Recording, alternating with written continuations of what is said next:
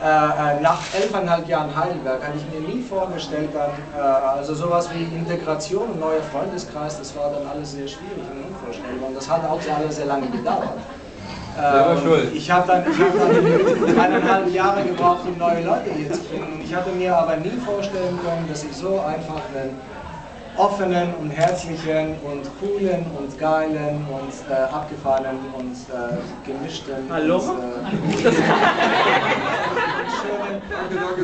Kreis. Ich, ich muss euch sagen, Leute, ich bin sehr, sehr dankbar von euch auch angenommen worden zu sein in der ersten Zeit und dann im weiteren Verlauf. Als, äh, einfach als jemand, der dabei sein darf. Und äh, ihr seid eines der Hauptgründe, warum es mir so schwer fällt, in diese Stadt zu kommen. Wir kommen nicht besuchen.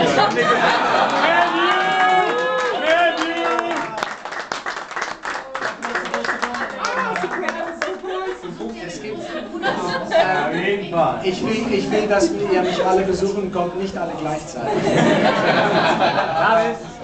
Buy tickets. Bei Tickets. Yeah. Manchester tickets. Ja, ich, ich kaufe